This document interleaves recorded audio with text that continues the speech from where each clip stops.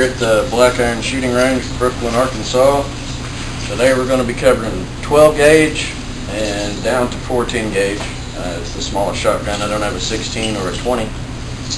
Uh, these are the three shotguns that I have primarily for home defense.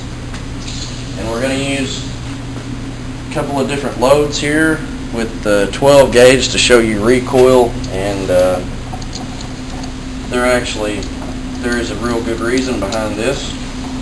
On one side of the little pile here we have regular game loads, there's dove loads as most people call them, and then over here we have the express long range. Now the reason, and there's both two and three quarter, uh, 2900 and something here and 33 I do believe here, or uh, 13 we have here. Well, a lot of people are going to have either one of these rounds, ideally for dove hunting or duck hunting. Uh, those are the two main loads that they'd have. You can do light deer hunting and other things with the green shells. They kick a lot more, and here's the reason why. Look at the powder load. Still have a two and three quarter shell. There's a lot more powder behind that. So it's going to fly a lot farther It's going to hit a lot harder. Going to kick a lot worse than the old shoulder. We're going to run our target about to the 10 yard line.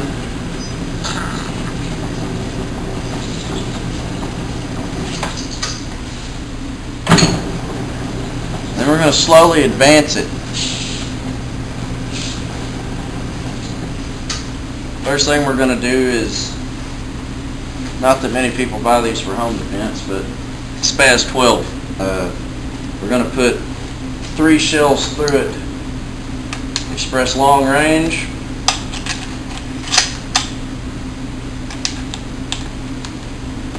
And here's the here's the thing for a lot of people. Uh, the SPAS 12 is in a lot of video games, a lot of movies. Most people do not know the feeding ramp actually will not load. Can't get a shell in there until you push the release button. It's also a uh, as a last round lock back like an AR-15 or a pistol and you push that just like the release button on the AR-15 to release it. So you have to adapt your reload technique however you want to do it right or left handed to be able to do this quickly Let's put three lighter loads in here.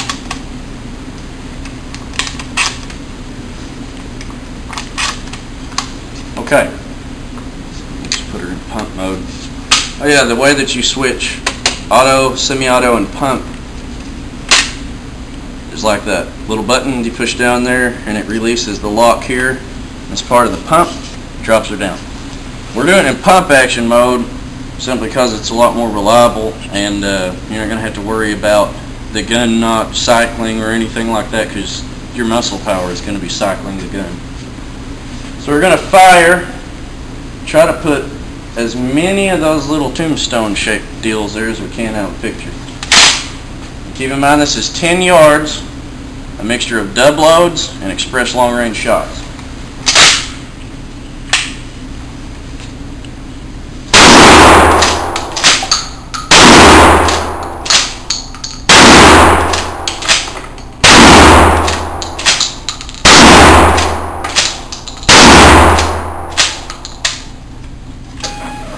Where the dove shots were, which were the first four shells we fired, and where the bigger loads were. So we peppered quite an area. Well, let's uh, take it back out. Let's do the same thing with the Mossberg 500 Persuader pump. Same load system as before.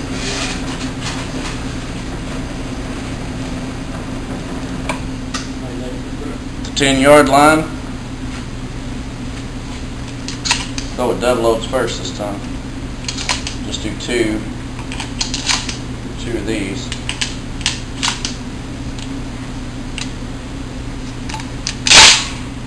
These are going to kick a little bit worse. You're going to see the shooting style adapt somewhat due to the fact this does not have a stock.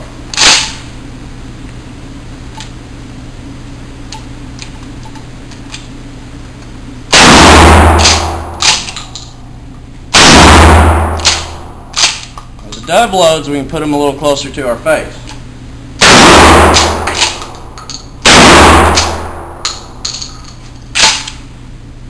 Again, we see more peppering. Now keep in mind about, look at the relative height here. If I extend my arms straight out, you make a beeline, this is here and up.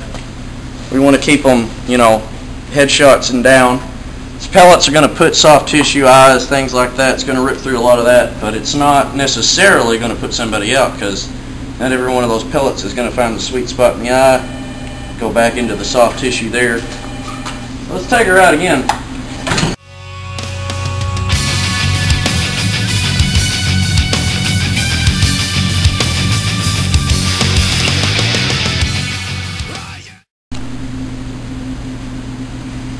So I've been told this is a little cliche for the South for someone to have the old double barrel 12 gauge, but I think it uh, pretty effective when it's barking at you. And for any movie buffs, good movie buffs, you'll recognize what does this look like? Where does it look like I bought it? S-Mart. Shop Smart. Shop S-Mart. This is a Remington 12 gauge double barrel I don't think it's got the cobalt blue steel. And I don't think it retails for what he said it did. But it is a Remington Spartan that was actually made in Russia. Right there. Call Gunworks. So it is a Remington gun made in Russia. They do exist. First we're going to shoot dove loads.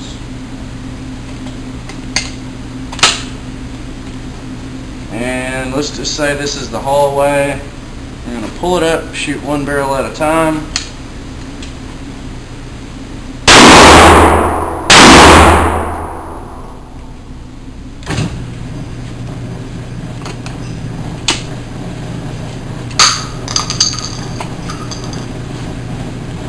this one's just for fun.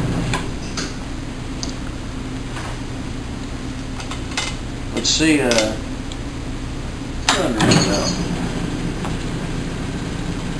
it's gonna hurt. There we go, right in the line. Let's try to aim dead center. These are the big boys.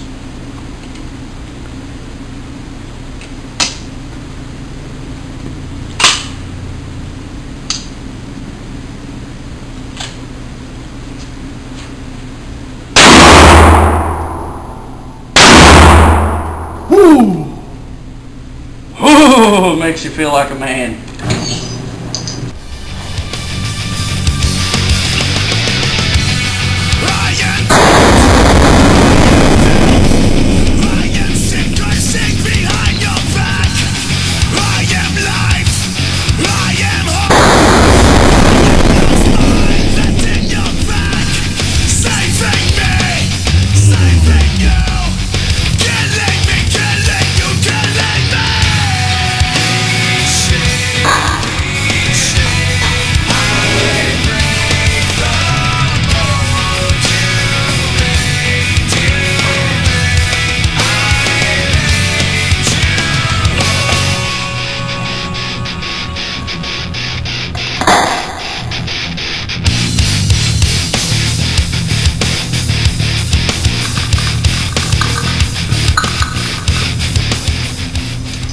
Yeah, I think we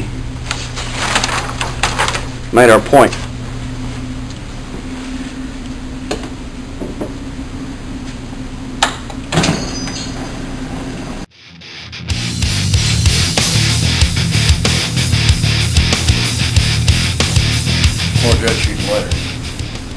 I guess now we're just going to show you this is going to hurt. Uh, you're going to laugh and going to be fun no matter what. I'm going to show you because this scenario is likely in a home defense situation. Most people don't sit around, you know, chomping at the bit waiting for an intruder to enter your home. In fact, I don't know anybody that does that unless, you know, your job is to guard somewhere. But, uh, the situation where the noise is going to wake you up in the middle of the night and your shotgun's going to be the first thing that you grab, loaded or unloaded, is pretty high.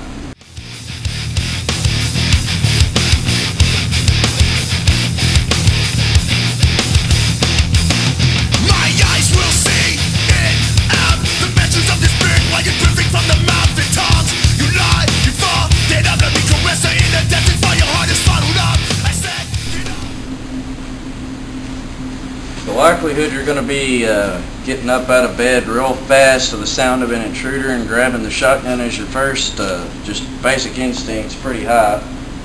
So uh, we'll assume for the moment that you've kept it loaded for just this occasion. Or trapdoor fun with the SPAS 12. Just do two shots in each of these.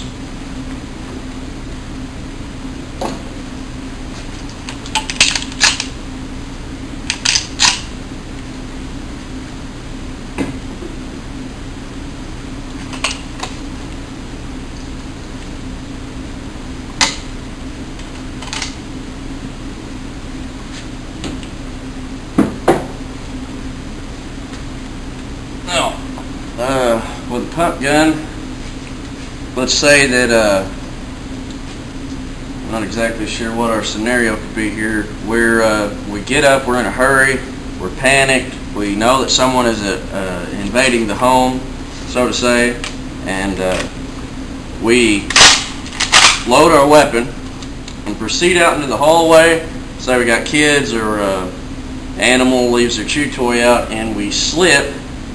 So we're gonna fall into like fall into the wall here or fall into the wall here. When we do, we're gonna have already assessed as we walked out the door. They've got a weapon. They're definitely a threat. They're coming at us with the crowbar, the tire iron, whatever they broke into our house with, and we don't really have time to get a completely stable sight picture.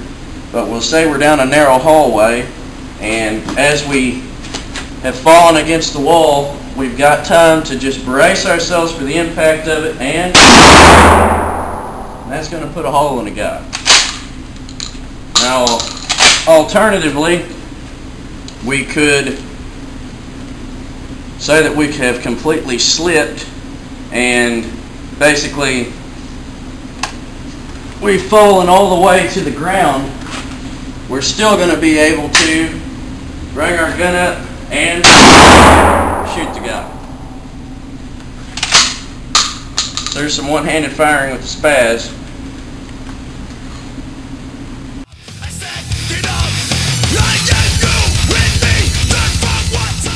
Mossberg 5. It's already set up uh, like a big pistol, so it just comes naturally to fire it.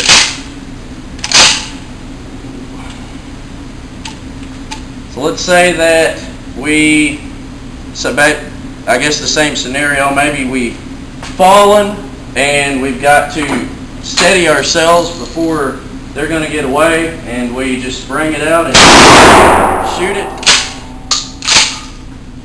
That hurt bad enough, I'm not going to do it a second time for you. but we're going to just say we've fallen. It's going to go down and boom. That's going to put a big hole in the knee somewhere. Tear a lot of Turn.